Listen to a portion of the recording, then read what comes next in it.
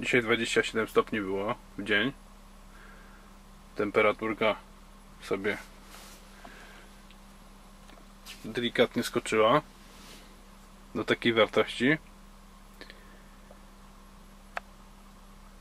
I jak jest na zewnątrz 27 stopni Celsjusza, no to w ciężarówce w środku w kabinie zrobi się ponad 30 stopni.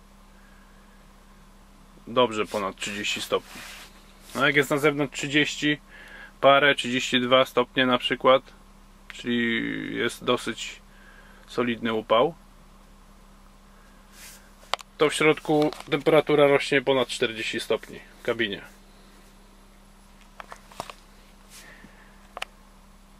Także jeśli kierowca ma robić odpoczynek dobowy, czyli ma spać w dzień, no to pojawia się dosyć poważny problem.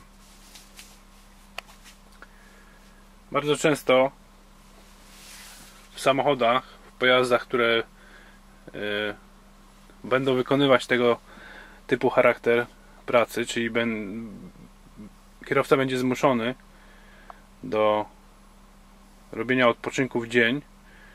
W takich pojazdach często montuje się klimatyzację postojową. Klimatyzację postojową montuje się najczęściej tutaj, w miejscu szyberdachu. To jest właśnie klimatyzacja postojowa, sprężarkowa. Bardzo wydajna klimatyzacja, która skutecznie obniża temperaturę wewnątrz kabiny. Kilkakrotnie musiałem już robić pauzę w dzień i jestem zadowolony z tego urządzenia. Na zewnątrz, gdy jest 28 stopni, jak sobie tutaj ustawię na 20 przykładowo 1 stopni, to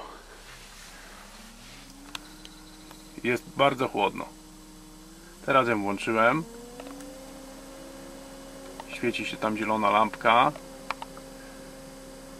Tutaj pisze A20, czyli tryb pracy automatyczny, ustawiony fabrycznie na 20 stopni Celsjusza. 20 to jest troszeczkę za chłodno. Damy sobie 22. Za chwilę powinien się uruchomić, powinna się uruchomić sprężarka. Można sobie tutaj też tym przyciskiem tutaj takim jakby znaczek Mercedesa jest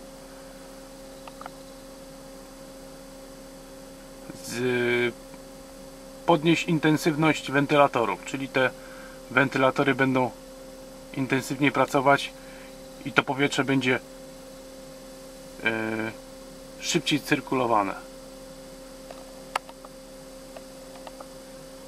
Zaraz się powinien uruchomić. Zaraz się powinna uruchomić sprężarka.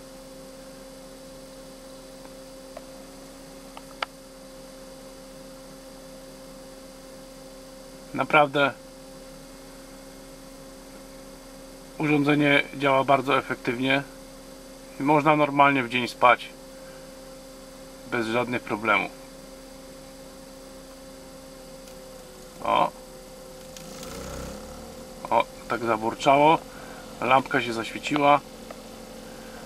Uruchomiła się sprężarka. Teraz rozpoczęło się chłodzenie.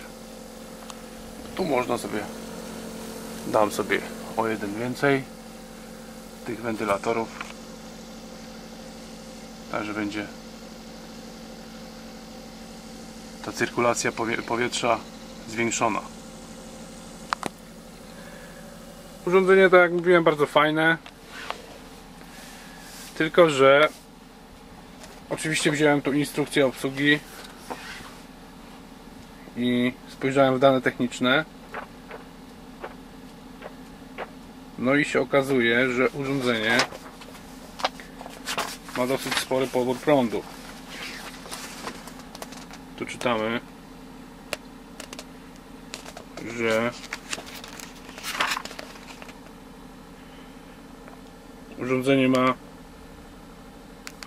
maksymalna wydajność urządzenia to 850 W a pobór energii to od 12 do 22 amperów. Czyli dosyć spory pobór prądu. I w przypadku, gdy ciężarówka posiada słabe baterie, to to urządzenie po dwóch godzinach pracy się wyłączy, ponieważ ono ma yy, czujnik podnapięciowy, który wyłącza to urządzenie, gdy spada napięcie w akumulatorach. Także istota działania tego urządzenia ma sens tylko w ciężarówce wyposażonej w dobre baterie.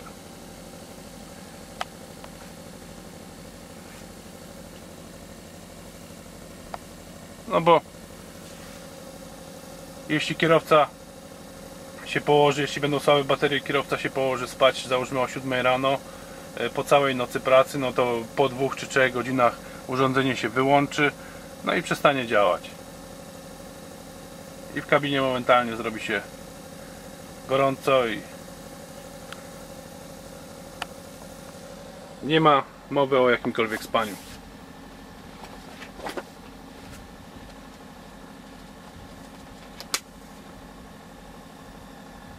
Także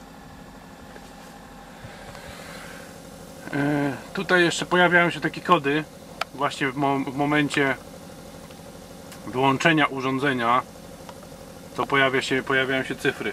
Od 1 do 9 bodajże co oznacza jak, jaki poziom e, krytyczny energii osiągnęliśmy właśnie w akumulatorach. I przykładowo tutaj może się pojawić e, na przykład cyfra 8 urządzenie się wyłączy, pojawi się cyfra 8 co oznacza, że energia spadła. Tutaj mamy taką tabelę w instrukcji obsługi.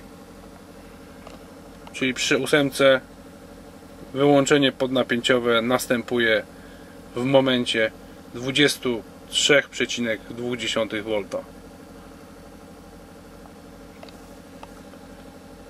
potem schodzi coraz niżej bo możemy przykładowo urządzenie się wyłączy, a my możemy go wyłączyć od nowa.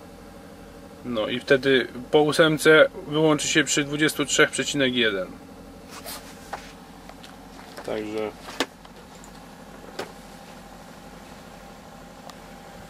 klimatyzacja postojowa sprężarkowa plus dobre baterie to jest przyjemny sen w ciągu dnia w ciągu upalnego dnia.